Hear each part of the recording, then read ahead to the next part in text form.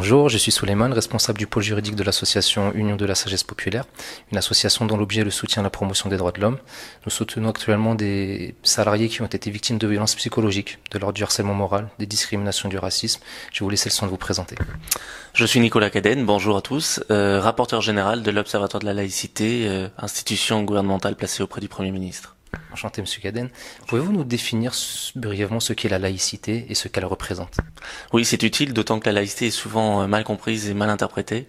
La laïcité, pour être court, c'est euh, la liberté de croire ou de ne pas croire dans les seules limites de la liberté d'autrui. Donc chacun euh, peut exprimer sa croyance ou sa non-croyance dès lors qu'il ne n'outrepasse pas l'ordre public, la liberté d'autrui. C'est aussi la séparation entre l'État et les organisations religieuses et donc euh, l'indépendance de l'État vis-à-vis des organisations religieuses et donc sa neutralité afin qu'il puisse euh, être tout à fait impartial vis-à-vis des citoyens, de tous les citoyens, quelle que soit leur, euh, leur croyance ou leur non-croyance.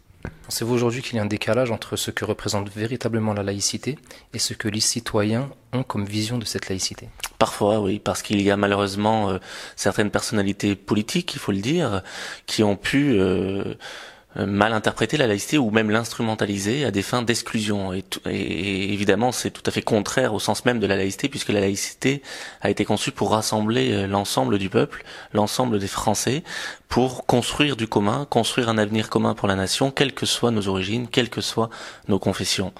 Donc ceux qui l'instrumentalisent à des fins d'exclusion pour euh, viser une catégorie de la population ou une partie de la population, selon sa, sa religion ou selon ses origines, euh, pervertissent la notion de laïcité et ça il faut le rappeler.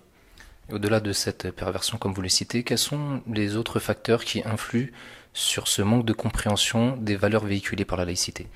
Parce que parfois, effectivement, il y a eu des débats autour de lois qui ont pu laisser penser que la laïcité était euh, finalement une série d'interdits euh, à l'égard de, certaines populations. Or non, hein, la loi de 1905, au, contraire, est une loi de liberté qui, euh, je vous le dis, garantit à, chacun de pratiquer son culte, s'il en a un, et de l'exprimer dès lors qu'il reste dans les limites de l'ordre public. Donc, la, laïcité, ce n'est pas une série d'interdits comme on, peut le croire. La laïcité, ce n'est pas la neutralité de l'ensemble de la population, c'est la neutralité uniquement des agents publics et de ceux qui représentent le service public, parce que, je vous l'ai dit, l'État n'a pas deux religions d'État, il n'a pas une seule religion d'État. Euh, il reconnaît tous ses grands citoyens à, égalité, quelle que soit leur, leur, euh, leur religion ou non-religion.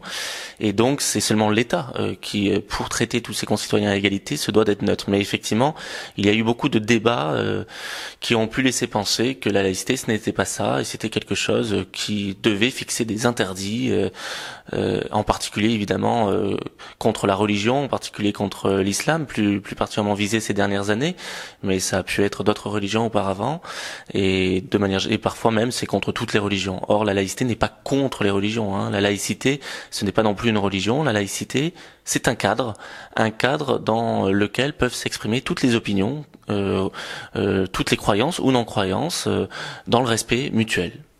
Pensez-vous qu'il y a un manque d'information et de formation, notamment d'un milieu scolaire, sur la laïcité?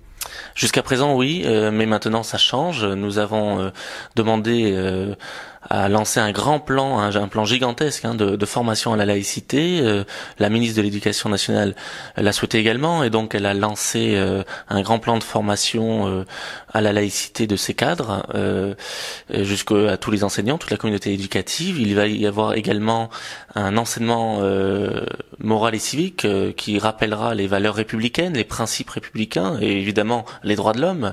Qu'est-ce que sont les droits de l'homme et la laïcité? Donc dès la rentrée prochaine euh, dans tout le cursus scolaire, hein, primaire, secondaire. Et il y a aussi euh, eu un renforcement, enfin, il va y avoir un renforcement de l'enseignement laïque euh, des faits religieux de façon transdisciplinaire en littérature, en philosophie, dans les arts plastiques, dans, dans la musique. Et enfin, nous avons mis en place des référents laïcité dans toutes les académies. Donc, lorsqu'il y a des difficultés d'interprétation de la laïcité, ces référents peuvent être saisis par euh, les, parents d'élèves, euh, par exemple. Ils sont euh, en cours de formation, certains n'ont pas encore reçu toute leur formation, mais c'est en cours et ça va bientôt, être opérationnel. vous pensez que la laïcité peut être cet élément de rassemblement des différences de chacun autour de valeurs communes, afin que ce soit, entre guillemets, une solution au repli communautaire de plus en plus grandissant au sein de notre société Oui, tout à fait. La laïcité, vous savez, elle a été conçue euh, en France pour euh, apaiser euh, un pays qui a connu des guerres de religion, qui a connu des gros conflits en raison de la religion dans ce pays lorsqu'il n'y avait pas d'État laïque, lorsque l'État était encore monarchiste, monarchique avec un roi, euh, il n'y avait qu'une religion, c'était la religion catholique, celle du roi. Et si nous étions euh, français sans avoir la religion du roi, nous étions persécutés. Donc vous le savez, en France, les, les protestants en particulier ont été persécutés parce qu'ils n'adoptaient pas la religion du roi, qui était la religion de l'État. Les juifs aussi l'ont été, et donc euh, a été conçue cette laïcité pour que tout le monde puisse vivre ensemble, en rappelant que l'État, lui, n'avait pas de religion d'État et accepter tous ses concitoyens, quelle que soit euh, sa croyance. Donc oui, c'est évidemment quelque chose qui permet à chacun de vivre ensemble dans le respect mutuel. Comme je le disais, c'est quelque chose qui permet de construire du commun, de construire un avenir commun, euh, grâce, malgré ou grâce à ces différences, euh, en s'enrichissant finalement de cette diversité. Donc c'est une source de richesse la diversité française et il faut sans cesse le rappeler. D'ailleurs, la France est présente sur les cinq continents à travers ses territoires d'outre-mer et donc on le sait, les Français sont d'origine extrêmement c'est un des peuples les plus diversifiés. Et donc, il ne faut pas en avoir peur. Au contraire, il faut en tirer toute la richesse de cette diversité. On ne peut pas parler de laïcité sans parler de la Déclaration des droits de l'homme et du citoyen. Euh, parmi les salariés que nous défendons, certains se sont vus bafouer certains droits sacrés qui sont stipulés dans l'article 2 de celle-ci, qui sont le droit à la liberté, à la propriété, à la sûreté, à la résistance à l'oppression. D'une manière générale, quel est votre sentiment concernant le racisme et les discriminations dans leur généralité? Vous savez, pour que la laïcité soit effective, il faut lutter contre toutes les discriminations et contre le racisme, toutes les discriminations, qu'elles soient sociales, qu'elles soient ethniques, qu'elles soient euh, euh de genre. Euh, il faut lutter contre toutes les discriminations. C'est une évidence. Jean Jaurès affirmait en 1904 la, la République sera laïque si elle sait rester sociale. Et même la Commission Stasi en 2003 a rappelé qu'il était essentiel de lutter contre toutes les discriminations pour que la laïcité soit effective. Donc, évidemment que pour assurer ce vivre ensemble euh, et pour assurer ce respect donc des droits de l'homme qui, qui sont notre socle commun, il faut euh, lutter contre toutes les discriminations et sans relâche. Donc on a encore du travail. Je crois que le gouvernement quand même en a conscience et a lancé plusieurs plans contre les discriminations et contre tous les racismes. Euh, mais évidemment, ce n'est pas ce n'est pas fini. C'est un long travail, mais il faut constamment s'y atteler.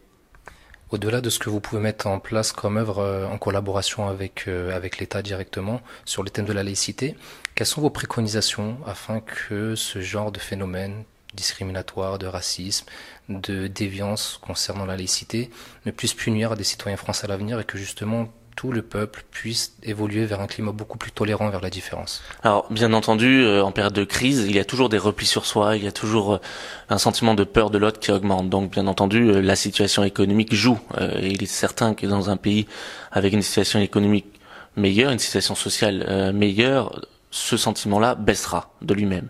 Mais ça ne suffit pas. Il faut aussi être intraitable sur tous ces actes. Donc effectivement, chaque fois que quelqu'un euh, se sent victime de discrimination, il faut qu'il saisisse la justice, qu'il n'hésite pas à le faire.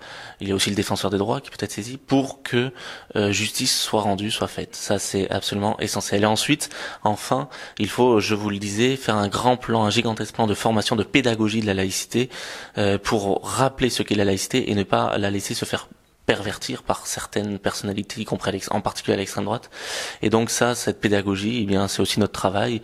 On se déplace toutes les semaines sur le terrain, mais maintenant toute l'administration euh, est dans ce travail pour rappeler sans cesse ce qu'est la laïcité et, et rappeler le fait qu'elle est d'abord une liberté donc un grand plan de solidarité, ce qui rejoint notre slogan associatif qui est la violence recule là où la solidarité avance. Que, que pensez-vous de ce slogan? C'est un très bon, c'est un très très bon euh, slogan parce que c'est tout à fait vrai et tout est dit dans, dans, ce, dans cette phrase. Merci. Euh, on vous remercie de nous avoir reçus, de nous avoir accordé cette interview. Je vais juste vous laisser un, dernier mot, savoir ce que vous avez envie de dire aux citoyens qui nous regarderont et qui regarderont cette vidéo. Eh bien, écoutez, sachez que grâce à la laïcité, vous avez tous la liberté de croire ou de ne pas croire. Vous avez tous la possibilité de vivre ensemble dans le respect mutuel et de construire du commun en vous enrichissant de, de votre différence, de vos différences, de votre diversité. Donc, c'est une chance que la France a et il faut la faire vivre au quotidien. Bah, merci beaucoup pour ce témoignage, pour ce message. J'espère qu'il sera entendu et appliqué de bonne manière. Au nom de l'association, je vous remercie encore une fois et j'espère à très bientôt pour ne pourquoi pas organiser des actions euh, communes. Ce sera avec grand plaisir. Merci. Merci à vous.